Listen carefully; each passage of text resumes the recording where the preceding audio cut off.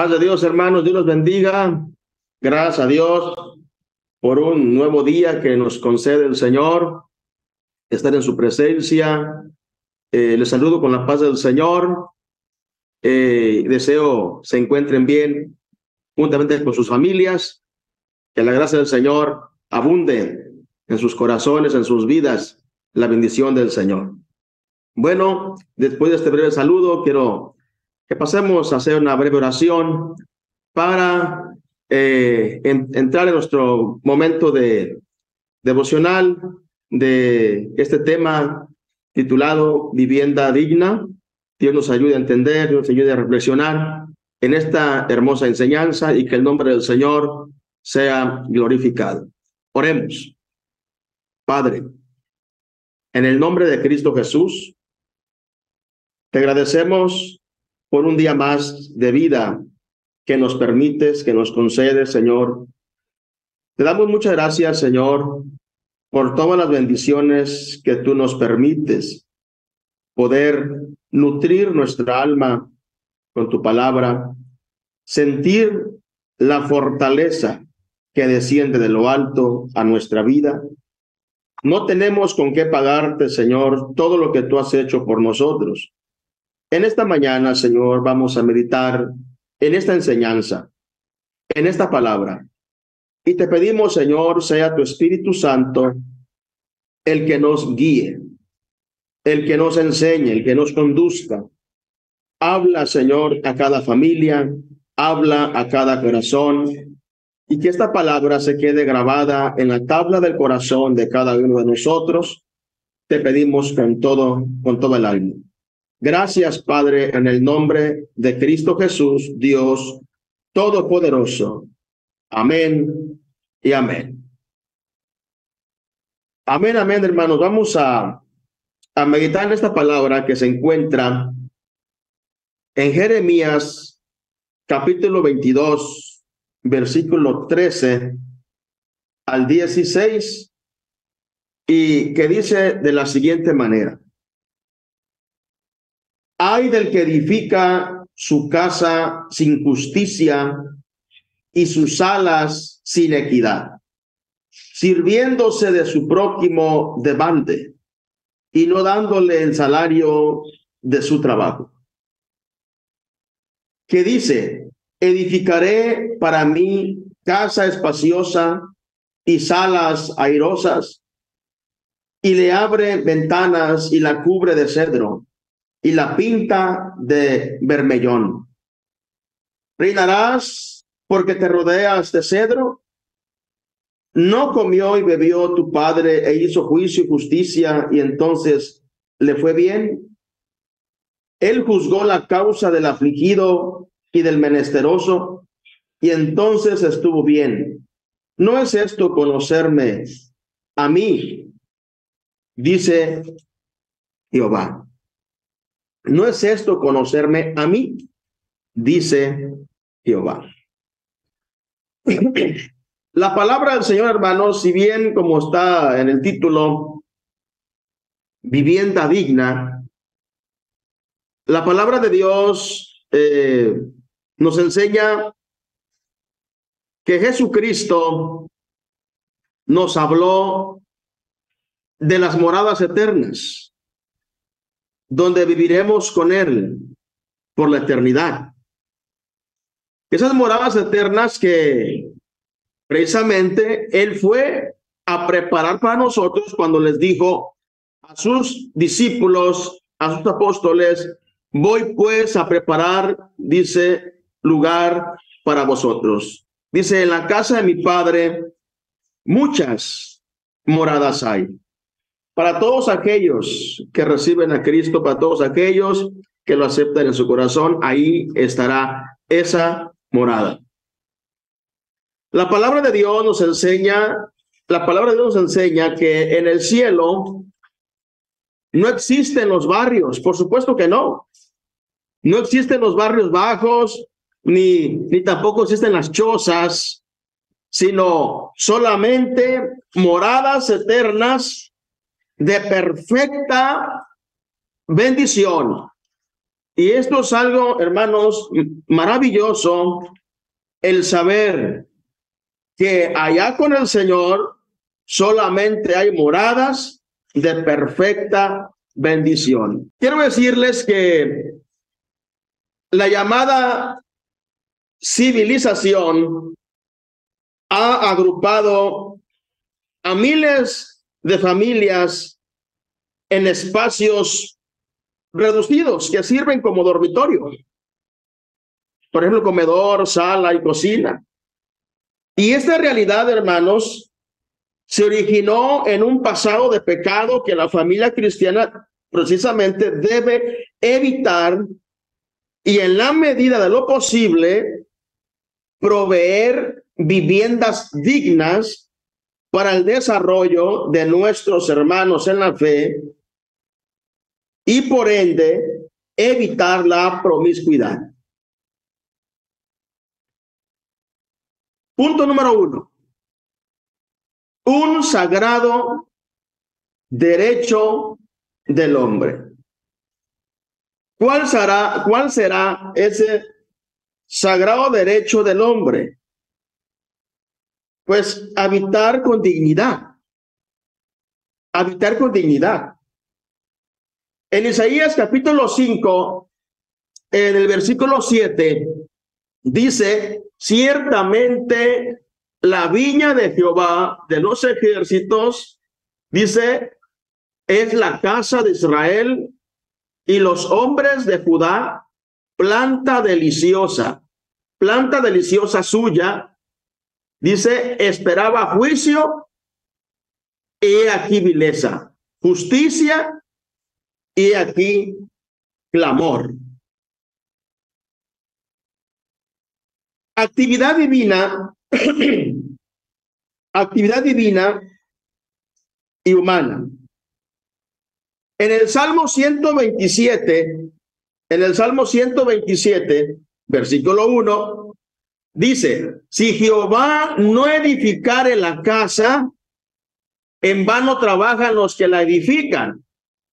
Si Jehová dice no guardar en la ciudad, en vano vela la guardia. Bueno, aquí las escrituras muestran dos maneras de construir una casa. Teniendo los recursos suficientes o con mucho esfuerzo. Pero en ambos casos, el Señor debe edificar. El Señor debe edificar. Porque si Jehová no edificara la casa, dice el Salmo 121, entonces dice, en vano trabajan los que la edifican. Así haya muchos recursos, así haya mucho esfuerzo. Entonces, aquí tenemos que reflexionar y entender que todo lo debemos poner en las manos de nuestro Dios. Amén. La familia cristiana debe siempre, amados hermanos, procurar la edificación de una vivienda digna, una vivienda digna, una prioridad importante vivienda digna. Habitar en una vivienda digna, quiero decirles que es una bendición y también, por supuesto, proporciona paz y reposo. En el, allí en la escritura, en segunda de Samuel, en el capítulo 7, versículo 1 al 2, dice de la siguiente manera, Aconteció que cuando ya el rey habitaba en su casa, después, dice, el rey habitaba en su casa, por supuesto que tiene una casa digna, después que Jehová le había dado reposo, dice, de todos sus enemigos en derredor. Versículo 2 dice, dijo el rey al profeta Natán, Mira ahora, yo habito en casa de cedro y el arca de Dios está entre cortinas. Quiero decirles, hermanos, quiero decirles, hermanos, que el trabajo del hombre es arduo y también es variado. Pero tener una vivienda digna, quiero decirles que el tener una vivienda digna es una aspiración de hombres prudentes, de hombres con visión y entendimiento a la palabra del Señor. Poseer, quiero decirles que poseer una vivienda digna, esto también nos permite pensar y realizar cosas espirituales. Como por ejemplo en el caso del rey David, que lo llevó a pensar en construir un templo, en construir un lugar de adoración, un lugar donde estuvieran en la presencia del Señor. Insensatez, quiero decirles que la insensatez y el pecado van de la mano. Es edificar sobre la arena. El insensato edifica sobre la arena. Vamos a ver primero en el Salmo 69, 5, que dice, Dios, tú conoces mi insensatez y mis pecados no te son ocultos. Diciendo, Dios, tú conoces que soy insensato y también conoces mis pecados porque nada hay oculto delante del Señor. Él conoce perfectamente nuestra mente, Él conoce perfectamente nuestro corazón, Él conoce perfectamente todo nuestro ser, nuestra vida, nuestra alma, nuestras intenciones. Él lo sabe todo. Y entonces el salmista reconoce esto, como nosotros también debemos de reconocerlo. Allá en el Evangelio según San Mateo, capítulo 7, en el versículo 26, allí también nos habla de quién es el insensato, quién es y cómo actúa el insensato. Dice Mateo 7, 26, pero cualquiera que me oye, dice, estas palabras, las oye, dice, estas palabras, y no las hace, le compararé a un hombre insensato que edificó su casa sobre la arena. ¿Quién es el insensato? El que oye y no hace. El que oye el consejo, el que oye la verdad, pero no actúa, no acciona, se conforma, este, es indiferente, ve las cosas de otra manera, a su, a su criterio, a su pensamiento. Ese es un insensato, aquel que edifica sobre la arena, o sea, aquel que hace todo lo contrario, aquel que hace todo al revés, que se le dice, mira, tienes que edificar aquí, pero edifica en terrenos movedizos, en terrenos inseguros, en terrenos donde lo van a llevar al fracaso, a la ruina. Ese es el insensato y es donde nosotros tenemos que meditar, hermanos, y reflexionar y no caer en la insensatez, porque la, insensa, la insensatez y pecado, ya dijimos que van de la mano, van de la mano. Entonces, la indolencia, la indolencia, ¿sí? Y la negligencia son pecados. Podemos decir así, la indolencia y la negligencia son pecados. ¿Y cuántas de las veces, hermanos, hemos estado cayendo en ese tipo de pecados? Muchas de las veces, sí cierto, eh, nos alejamos de muchos pecados, o sea, sido del adulterio, la fornicación, la mentira, el pleito, etcétera, etcétera, la, la. Nos alejamos de todos esos tipos de pecados, pero tenemos que poner mucha atención porque hay otros tipos de pecados también en los cuales podemos estar cayendo continuamente. Usted debe de recordar esto, que la insensatez, que la indolencia, que la negligencia son pecados. La indolencia, la negligencia nos lleva a la ruina, nos lleva, nos lleva al fracaso. El pecado lleva a la ruina, el pecado lleva al fracaso.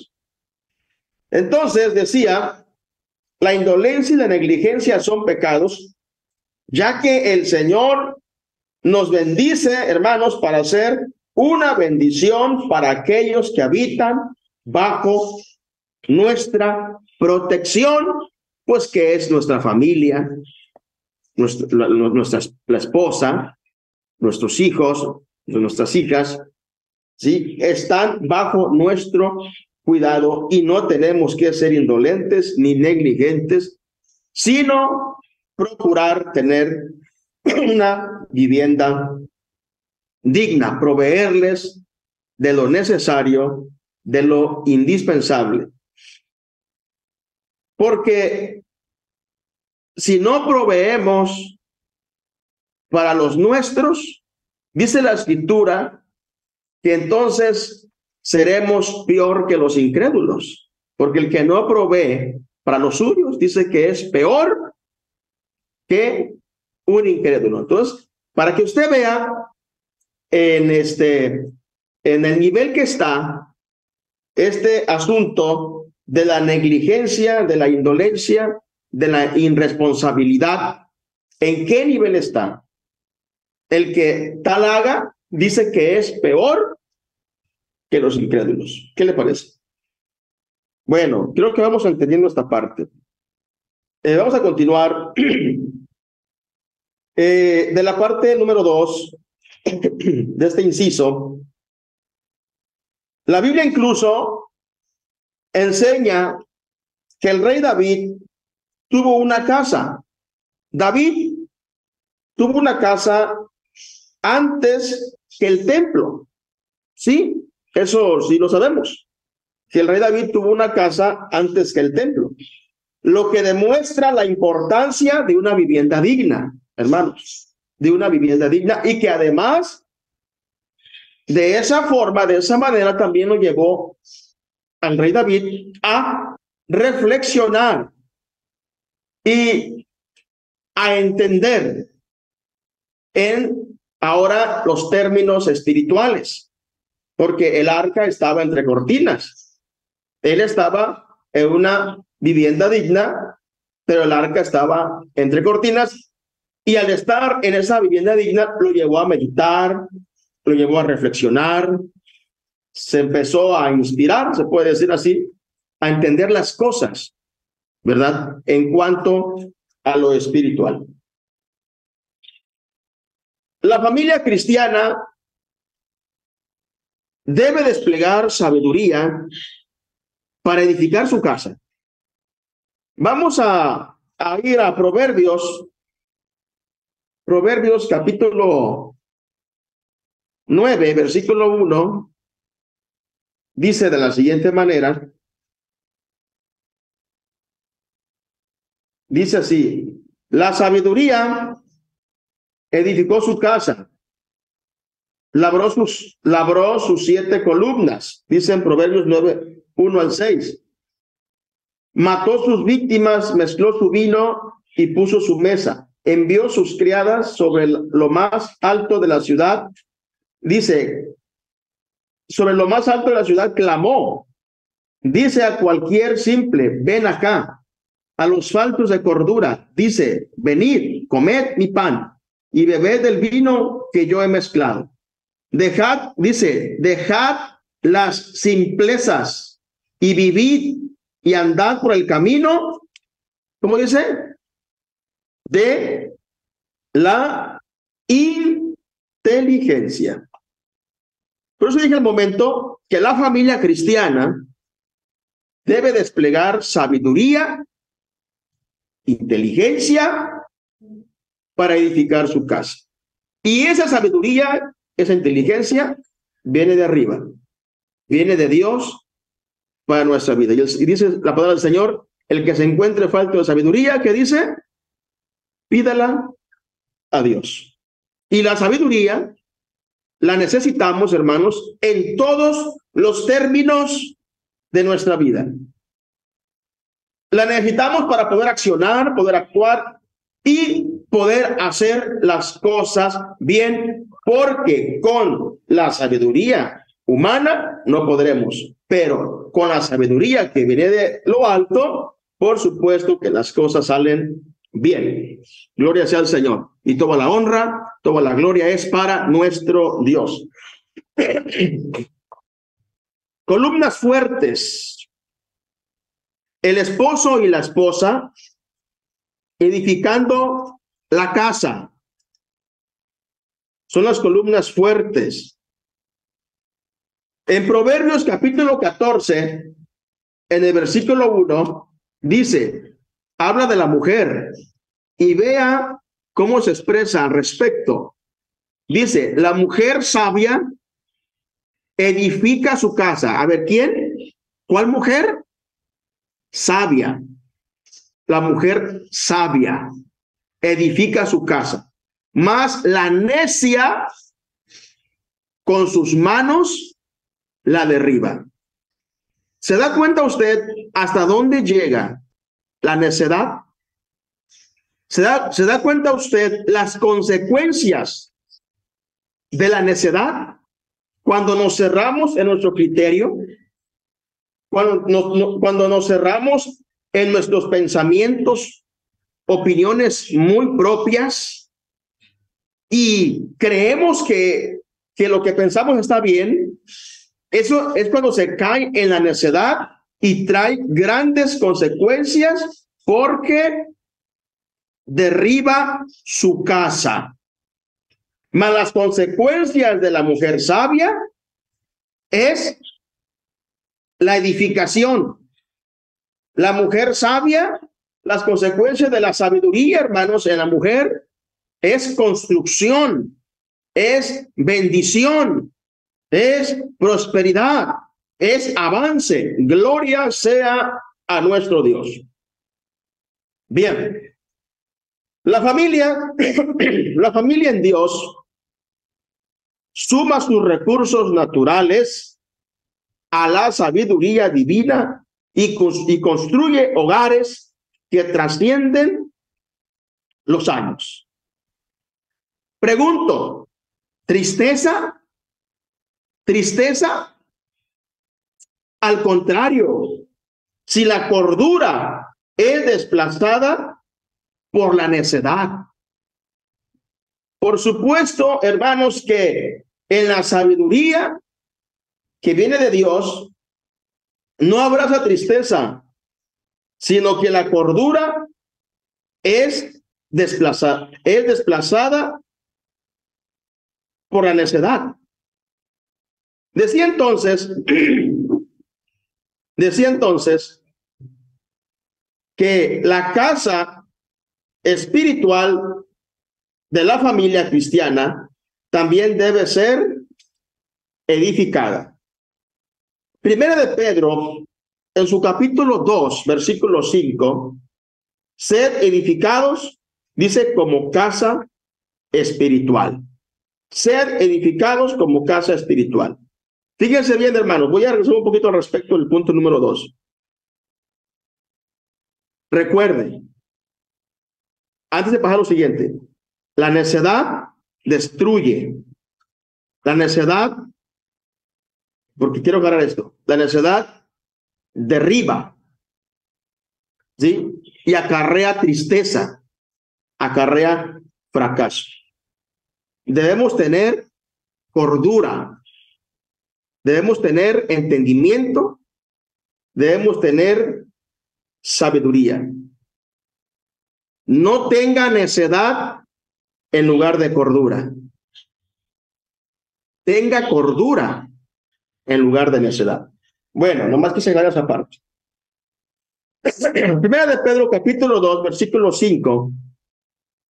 Eh, dice, voy a, a, permitirme leerlo. Primera de Pedro, capítulo este, 2, versículo 5, dice, dice, dice, vosotros también, como piedras vivas, dice, piedras vivas, sed edificados como casa espiritual y sacerdocio santo, para ofrecer sacrificios espirituales aceptables a Dios por medio de nuestro Señor Jesucristo, por medio, dice, de eh, Jesucristo. Lo material es importante en cierto término, pero más importante, esto debe quedar bien claro, no debe haber confusión ni malentender las cosas.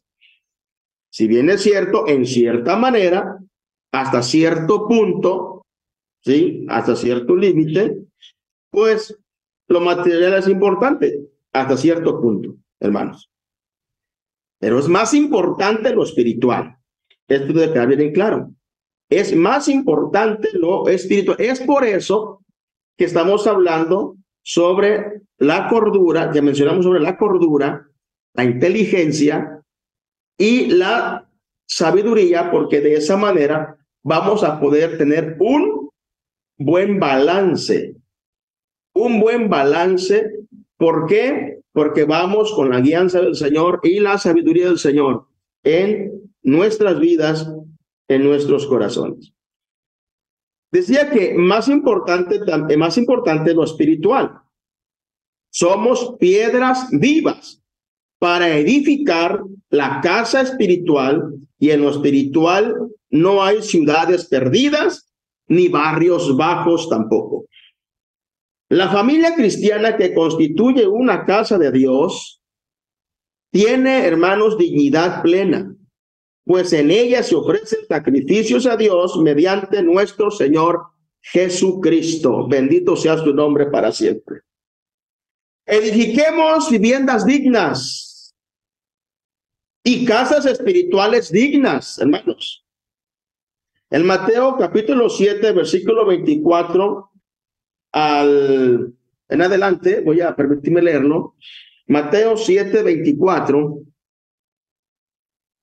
nos dice de la siguiente manera,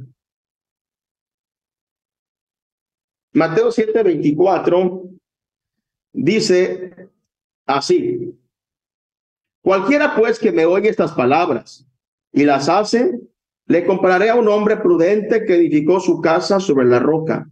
Descendió lluvia y vinieron ríos y soplaron vientos y golpearon contra aquella casa, dice, y no cayó porque estaba fundada sobre la roca. Pero cualquiera que me oye estas palabras y no las hace, le compraré a un hombre insensato que edificó su casa sobre la arena y descendió lluvia y vinieron ríos y soplaron vientos y dieron con ímpetu contra aquella casa y fue grande su ruina. Y cuando terminó, y cuando terminó Jesús estas palabras, la gente se admiraba de su doctrina, porque les enseñaba como quien tiene autoridad y no como los escribas.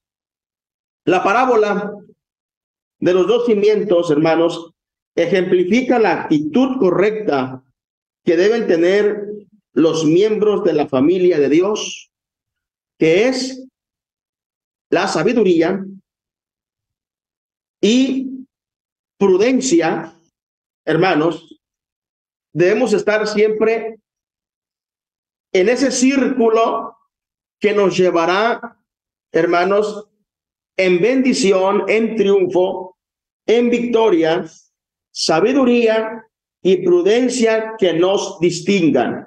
Esa debe ser nuestra actitud. Las casas con viviendas dignas, hermanos, construidas sobre la roca. Eso es de sabios. Eso es de personas con sabiduría, con entendimiento, los que edifican sobre la roca, porque la roca es Cristo y jamás caerán. Siempre irán de triunfo en triunfo, de victoria en victoria. Y hermanos, entonces en nuestra vida no habrá cavidad para la indolencia, no habrá cavidad para la insensatez, hermanos, no habrá cavidad para la indiferencia, no habrá cavidad para nada de aquello, hermanos, que nos quiere llevar al fracaso, sino que en nuestra vida, hermanos, habrá entendimiento, inteligencia, inteligencia, sabiduría, porque estamos fundados sobre la roca y solamente habrá triunfos, victorias, bendiciones del Señor en nuestra vida. Y cuando venga el río, cuando venga con ímpetu, cuando venga con fuerza los problemas, las angustias, las preocupaciones, la enfermedad, etcétera, nada nos dañará porque estamos fundados sobre la roca y la roca es Cristo. Jamás caeremos. Iremos adelante en el nombre del Señor porque el Señor está con nosotros. Bendito su nombre para siempre. San Pablo también, hermanos, utiliza esta figura para exhortar a los creyentes a tener cuidado. Y dice allá a 1 Corintios capítulo 3, versículo 10, pero cada uno dice, mire cómo sobre edifica. Cada uno dice, mire cómo sobre edifica. Y reconozcamos, hermanos, cuando estemos cometiendo errores o fallas, reconozcamos y pronto volvámonos a los pies de Cristo y seremos restaurados, sanados hermanos, y seguiremos adelante en el nombre del Señor. Esperemos, hermanos, que esta, este momento de reflexión en la palabra, hermanos, os haya sido de bendición, de edificación, y que esta palabra, hermanos, la pongamos en práctica y que esté siempre guardada en la tabla de nuestro corazón. Ahí en su lugar, yo le pido que incline su rostro y hagamos esta siguiente oración. Dios nos ayude, hermanos, Dios nos dé entendimiento, nos dé inteligencia y que siempre nosotros estemos apegados a la palabra del Señor. Bendito Dios y Padre nuestro que estás en el cielo. Dios de toda gracia y de toda bendición. En este momento, Señor, te agradezco por tu infinita misericordia, por tu infinita bondad, Gracias por esta reflexión, por esta palabra. Señor, que todos la hayamos podido entender. Señor, que esta enseñanza, Señor, la pongamos en práctica y que sea todo para la honra y gloria de tu santo nombre. Te pido nos ayude, Señor. Danos sabiduría, danos inteligencia, que podamos entender todas las cosas y entender y poder discernir en cuanto a todas las áreas de nuestra vida en lo que estamos mal o que estamos haciendo mal, que lo podamos reconocer y entender y que así mismo, Señor, volvamos a tus plantas, Señor, y que estemos siempre sujetos a tu voluntad.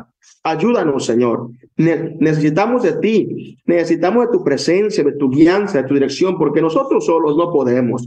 Nosotros sin ti no somos nada. Señor, cada día necesitamos de ti, Señor. Por favor, ilumínanos, danos visión, danos entendimiento, Señor, y que siempre estemos fundados sobre la roca, Señor, porque fundados sobre la roca nunca caeremos, sino que iremos siempre de triunfo en triunfo y de victoria en victoria. Bendice a mis hermanos, provéles en sus hogares que nunca falte, Señor, lo necesario en sus hogares, en sus vidas, Señor. A mis hermanos, Señor, aquellos que están sufriendo en este momento, Señor, te pido los bendigas y les proveas en sus vidas. Ten misericordia, Señor, restaura las vidas y restaura también las familias. En el nombre de Cristo Jesús, te lo pedimos con todo el corazón. Señor, también te pido sanidad para los que se encuentran enfermos.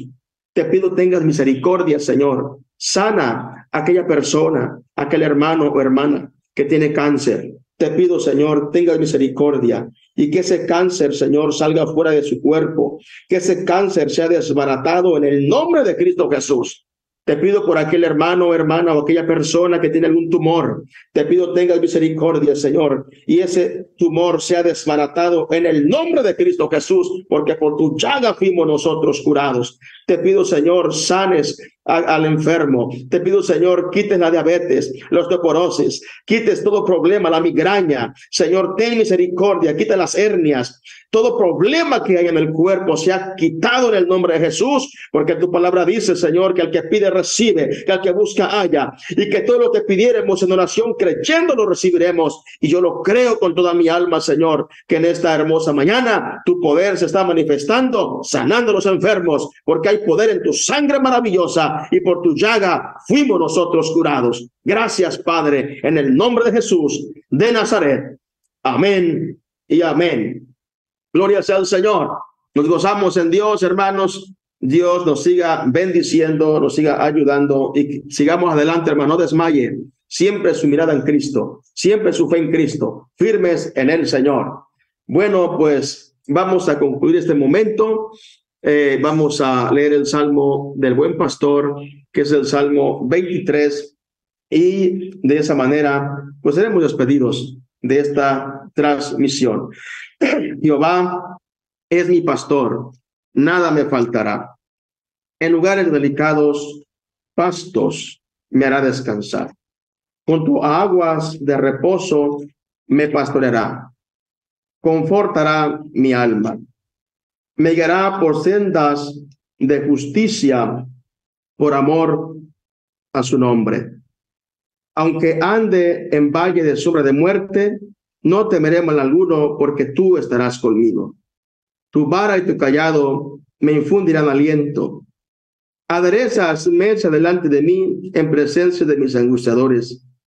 Unge mi cabeza con aceite, mi copa está rebosando. Ciertamente el bien y la misericordia me seguirán todos los días de mi vida, y en la casa de Jehová moraré por largos días. Incline su rostro, si le es posible, levante su mano derecha y seremos despedidos con la bendición apostólica. Amadas familias, hermanos en Cristo, la gracia de nuestro Señor Jesucristo, el amor de Dios, la comunión del Espíritu Santo sea con todos vosotros desde ahora y para siempre. Amén. Hermanos, la paz de Dios, Dios les bendiga. Un abrazo. La paz de Dios.